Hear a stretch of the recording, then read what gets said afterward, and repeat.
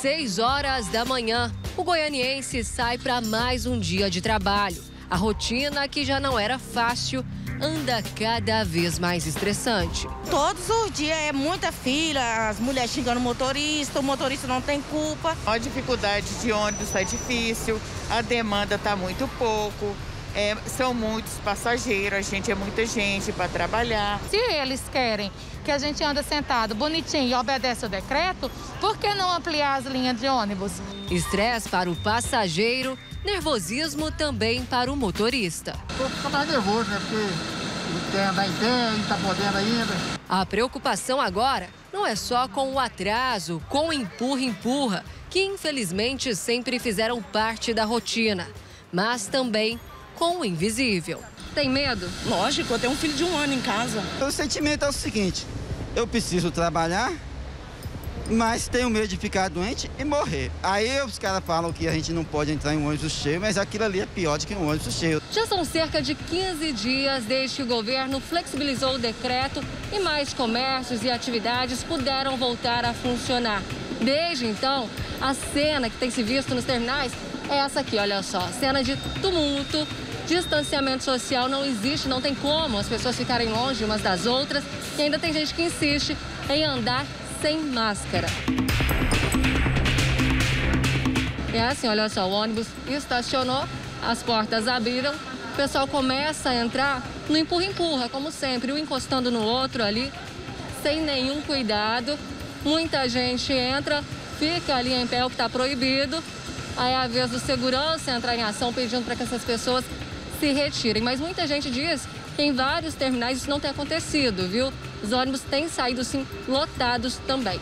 Enquanto nos terminais faltam ônibus, nas garagens eles sobram. Do alto dá para ver a quantidade de veículos parados. O número impressiona e revolta quem precisa deles. À noite, na cansativa volta para casa, o drama do trabalhador se repete.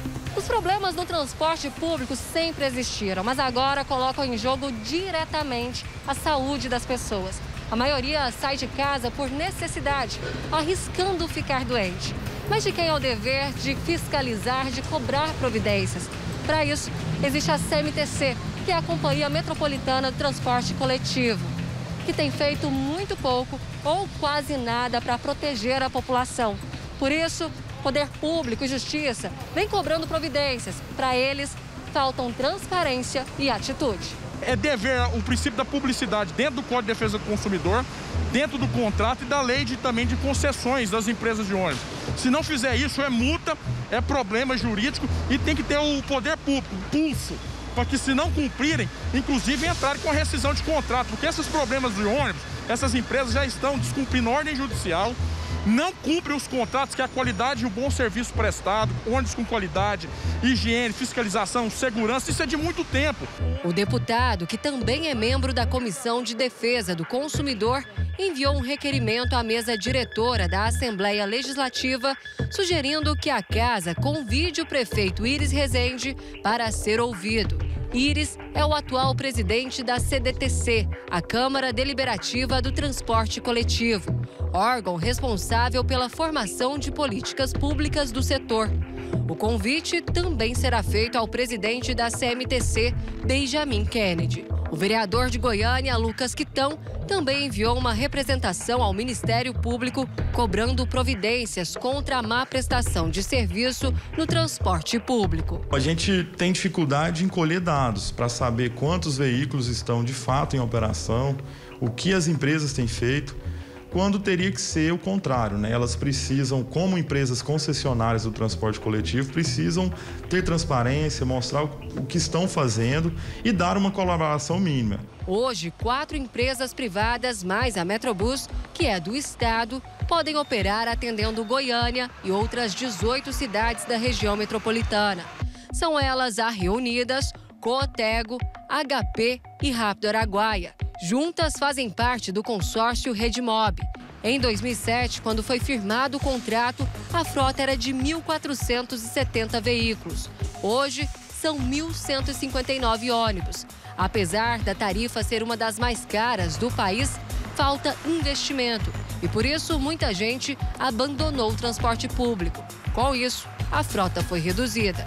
Antes da pandemia, cerca de meio milhão de passageiros usavam o transporte todos os dias. Durante o isolamento social, esse número caiu para 160 mil, de acordo com a companhia. As empresas procuraram inclusive o Ministério Público, reclamando que o valor arrecadado com a tarifa no mês de abril foi de 10 milhões de reais, enquanto os custos seriam o dobro disso. Para a promotora Leila Maria, ainda assim, as obrigações das empresas precisam prevalecer. As empresas têm que dar a, a contrapartida delas, as empresas precisam ter esta responsabilidade nesse momento. Todos vão perder, não é só a empresa, todos vão perder. Seja em lucros, seja é, é, de que forma for, alguém todo mundo vai perder alguma coisa. Agora, é preciso que a população também se conscientize. Se não há necessidade de ir para a rua, não vá. As companhias alegam que houve queda no número de passageiros por causa dos decretos de isolamento social e que não estão conseguindo arcar com os custos operacionais. E por isso, pediram auxílio financeiro ao poder público. O diretor jurídico do Síndico Coletivo, sindicato que apoia os motoristas do transporte coletivo, diz que mais de 100 profissionais já foram demitidos e acredita que a CMTC não vem cumprindo o papel dela de fiscalizar e ajudar na gestão do transporte. A CMTC não existe, nunca existiu. É um grupo de, de pessoas que trabalha para os empresários goianos. Nem quando a gente fez paralisação rodou tão pouco ônibus quanto agora. Apesar de alegar um baixo número de passageiros, os terminais estão lotados. Para tentar combater a disseminação do novo coronavírus, uma ordem da Justiça obriga, desde o mês passado, as empresas a rodarem com 100% da frota o que, segundo a Defensoria Pública, não está sendo cumprido. A Defensoria já ajuizou duas ações civis públicas contra as empresas. A primeira sobre a falta de ônibus.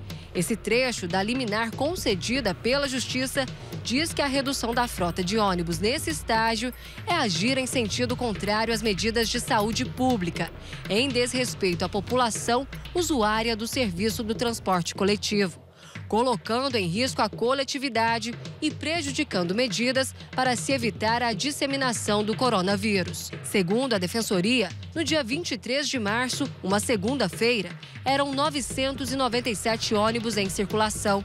No dia 6 de abril, também numa segunda, esse número caiu pela metade, 498. Os dados foram retirados do aplicativo De Olho no Ônibus, administrado pela Redmob e que há semanas não está funcionando. No texto da ação civil pública contra a CMTC, fala também que outros canais que traziam mais transparência no transporte coletivo não estão funcionando. A justiça foi a favor do pedido e determinou que a Rede Mob volte a fornecer os dados sob pena de multa. Diariamente, a Defensoria Pública é, ia até esses sites, até os aplicativos para fazer a coleta de dados para verificar se as empresas estavam ou não cumprindo as determinações judiciais. E, infelizmente, eles retiraram essas informações do ar de forma abrupta, sem nenhuma explicação, é, numa absoluta falta de transparência. Atualmente, é, ninguém consegue fiscalizar o transporte coletivo. Sequer a CMTC fiscaliza.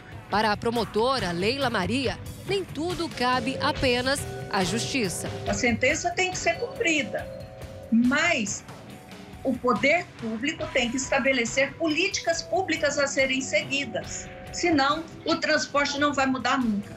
Enquanto o poder público, empresas e justiça travam uma queda de braço, é o povo que segue sofrendo na luta diária. Para a maioria, ficar em casa não é opção.